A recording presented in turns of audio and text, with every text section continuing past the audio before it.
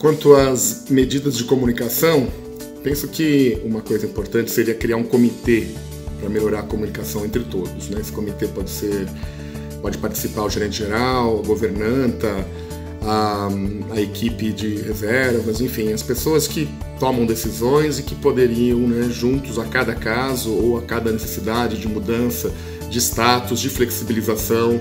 da, dos órgãos municipais, estaduais, é, tanto no relaxamento, na flexibilização, como numa volta de rigidez, né, nos próximos momentos, poder estar comunicando a toda a equipe, a hóspedes e a é, obviamente, colaboradores, prestadores de serviços, o, como conduzir, o que fazer. Então, esse grupo de esse comitê, é, entendo que é fundamental para que as ações possam acontecer adequadamente. Outra medida de comunicação relevante né, é mudar um pouco a atribuição né, no ato da reserva. Né? No ato da reserva deve obrigatoriamente informar né, o hóspede quais são os serviços que estarão interditados, como proceder no caso de serviços que dependam de reserva para que aconteçam, o que ele tem direito, o que ele não poderá ter direito, o que, que ele pode, como deve agir, quais são os deveres dele enquanto hospedado, quais são regras de convívio né, coletivo, como o uso de EPIs, uso de máscara e coisas desse tipo, a medição de temperatura na chegada e para que ele concorde né, e pelo menos conheça os termos dessa hospedagem a partir desse novo convívio. Outro ponto importante como medida de comunicação é a criação de cartilhas, de manuais é, que possam estar sendo oferecidos para os colaboradores, né, para os prestadores de serviços, é, mesmo que sejam uh, equipe que venham fazer uma montagem de uma sala, de, uma, de, um evento, de alguma coisa, que saiba né, quais são as regras internas de uso, de convívio, em relação ao uso de EPIs, em relação à lavagem das mãos, aos acessos que ele tem que ele deve entrar ou sair, né, de que maneira ele deve, desde, deve se portar, né, desde um entregador de, de, da área de restaurante, da área de cozinha, até um,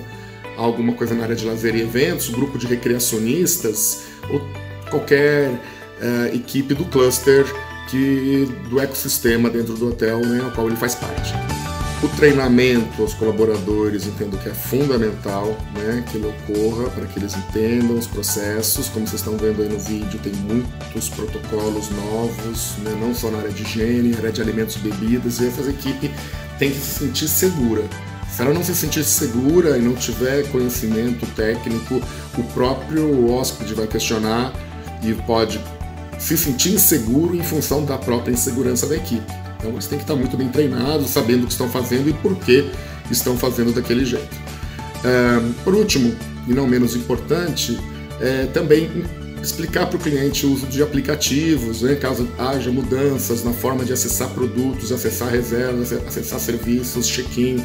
é, checkout express, como que ele vai usar um aplicativo, como ele deve entrar no site, quer dizer, essas explicações não adianta adianta muito pouco a gente fazer toda uma estrutura é, se a gente não comunica para o cliente como que ele tem acesso a essas coisas como que ele deve fazer para instalar um aplicativo, para acessar um web app, o que, que ele deve fazer exatamente para conseguir esses serviços. Queria convidar agora a nossa querida Patrícia, lá do Hotel Maxud Plaza, que vai nos contar um pouco como que eles estão é, se planejando, como estão pretendendo lidar com essas questões junto ao hóspede. Oi, bom dia. Meu nome é Patrícia, sou diretora de operações aqui do Hotel Maxud Plaza. Queria mostrar para vocês como vai funcionar o nosso sistema de check-in e check-out express. Nós temos assim, pelo hotel, um QR Code que vai valer para todas as áreas, para todos os serviços que a gente precisar. Então o hóspede chega, ele vai é, registrar esse QR Code, ele vai entrar numa plataforma.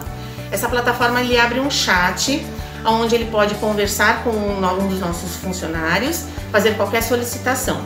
É, então, só para mostrar para vocês aqui como está funcionando, é, você pode ter acesso, inclusive, abrindo o chat com um vídeo né, de um recepcionista é, fazendo o atendimento. Então fica uma coisa assim mais personalizada, né? Você não fica conversando só com uma máquina, a gente tem esse, esse processo todo e ele tem começo, meio e fim, ou seja, desde o início do hóspede chegar no hotel até o pagamento pode ser feito através dessa forma. Depois que ele terminou, ele pode ir lá na recepção, onde ele vai pegar a chave dele que foi devidamente higienizada.